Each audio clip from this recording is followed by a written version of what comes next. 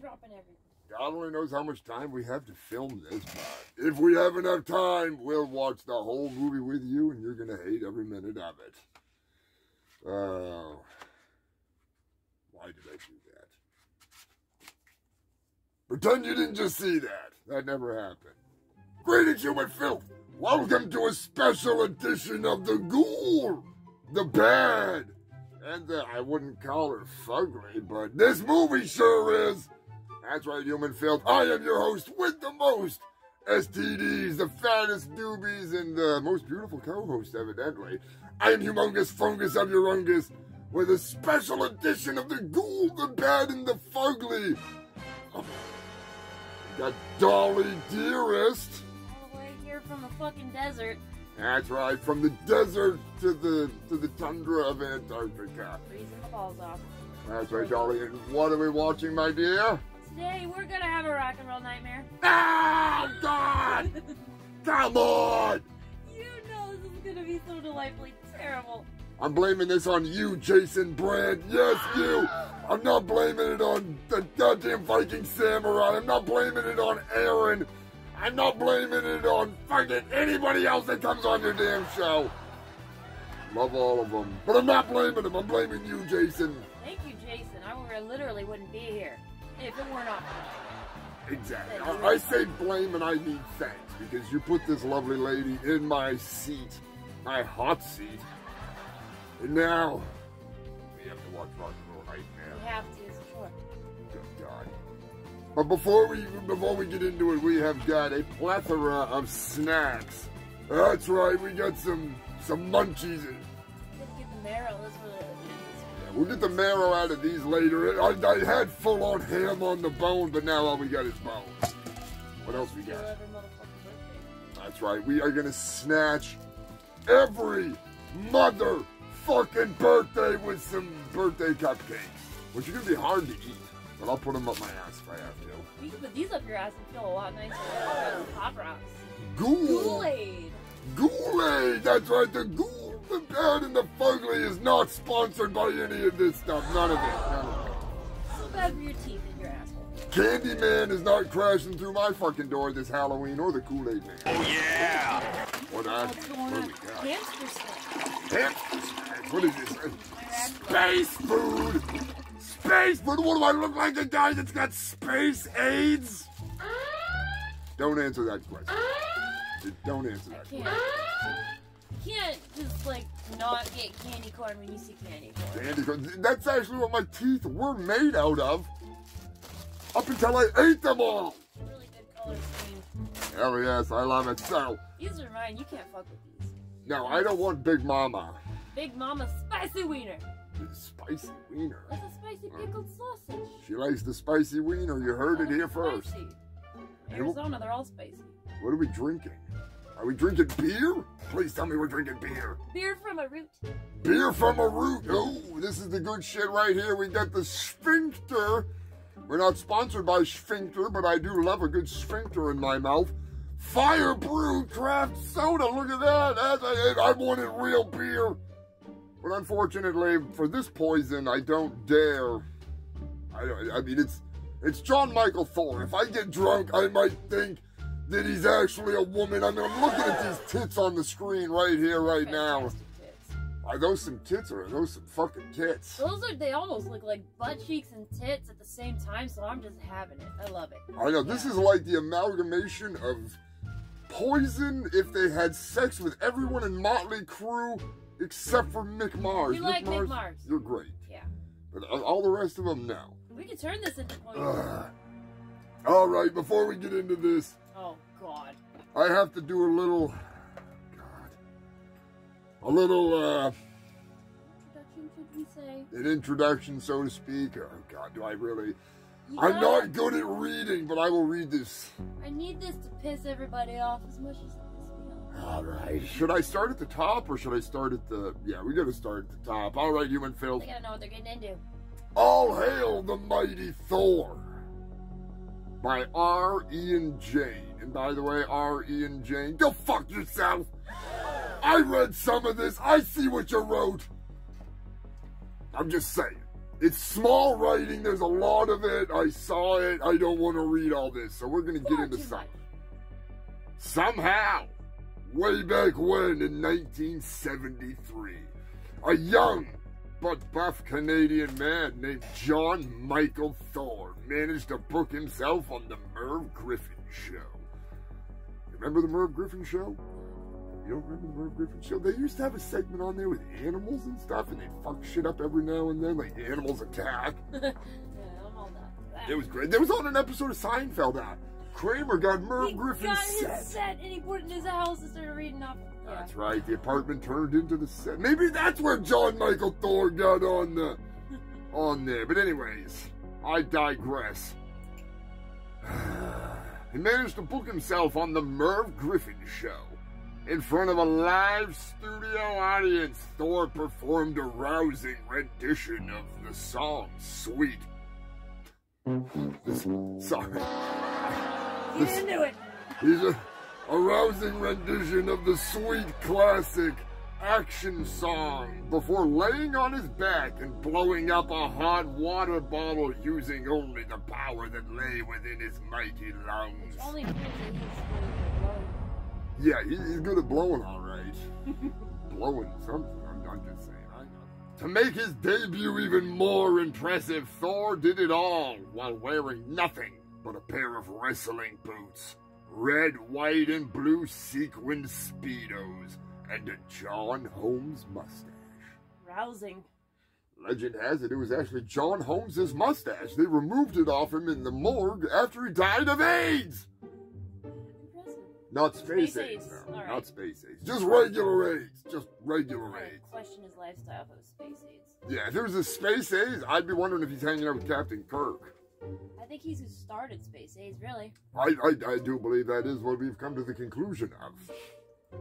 Also, if you're gonna go on the Merv Griffin show, do you really have to play a thrilling rendition of the sweet classic action song and blow up a hot water bottle with your mouth? Is that is that like the requirements? They're like, all right, Thor, your song is great, but you need a little more to this show you got to inspire the future generations of guys that wear wrestling boots and sequin speedos.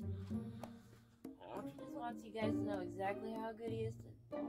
I mean, he's got to be full of some serious hot air if he's going to blow it up. Good. That's a good point. I mean, if I was on the Merv Griffin show, I'd just put one up to my ass and rip the biggest fart since Viking Samurai opened his mouth. I mean, uh. Anyways, I digress. Sorry, Jason. Anyways, to make his debut even more impressive, he did it all while sucking dick. I mean, uh, uh never mind. I, I read the wrong line. Sorry about that. Anyone who has seen that appearance available on the Anthorology DVD from Smog Veil Records.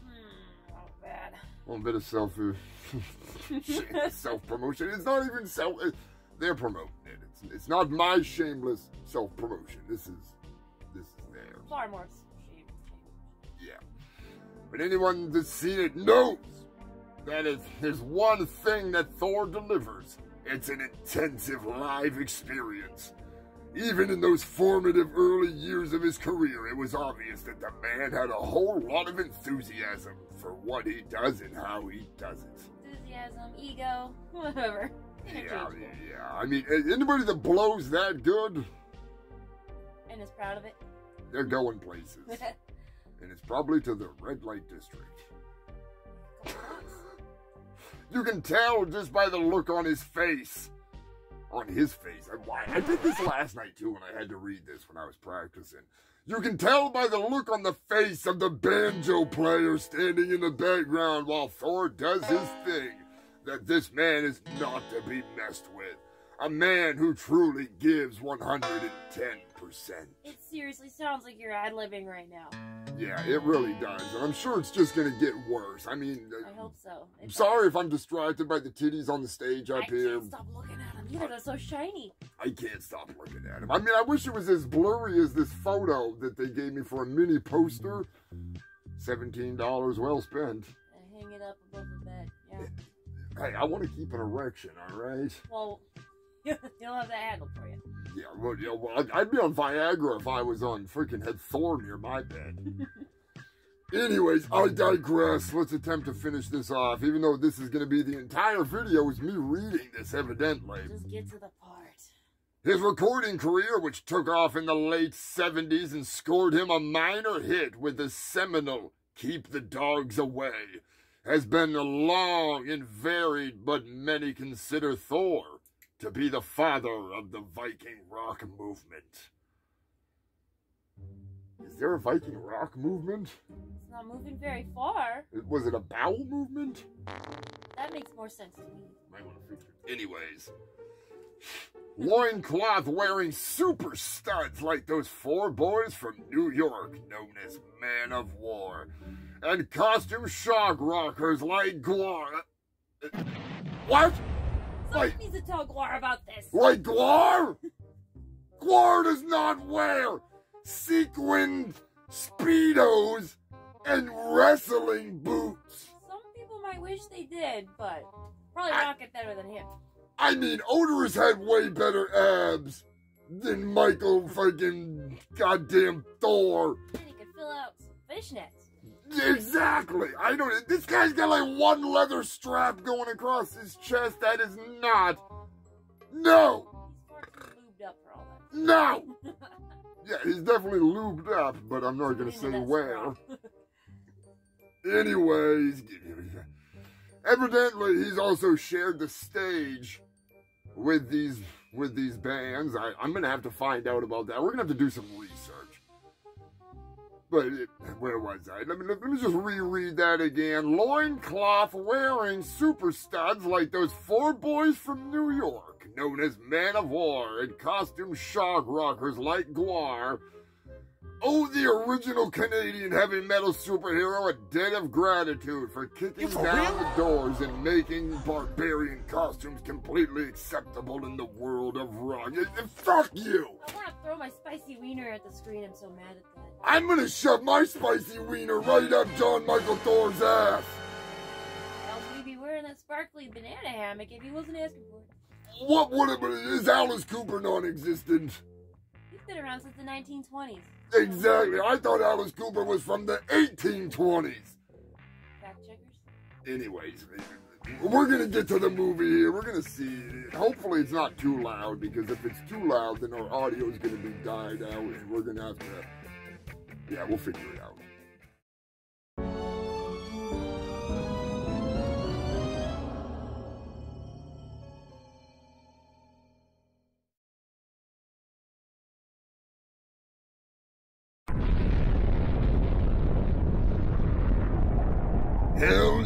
That's what I'm talking about. Brains, attitude, sleaze.